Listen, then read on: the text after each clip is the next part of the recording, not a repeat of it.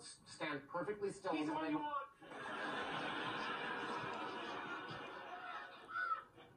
Another episode of The Big Bang Theory starts right now on TBS. Hey, you guys have any plans for Valentine's Day? Three months from now, no. What? No? I mean, secret romantic plans that would be ruined if I told you. Oh. What's going on, guys? Well, how would you guys feel about going to India for my wedding? Penny, you will never guess what I have planned for Valentine's Day. Can I feed peanuts?